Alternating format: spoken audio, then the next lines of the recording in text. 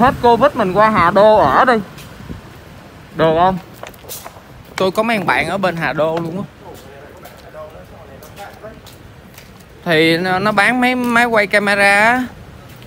Mà GoPro nữa qua bển chắc chơi vui á. Thằng đó nó chơi gì với minh nhựa đồ các kiểu á. Nó hay khoe lắm. Nhưng mà kệ nó chứ mình biết vậy thôi chứ người ta giàu ăn của được người ta. À. Trời. tất cả là tùy duyên thôi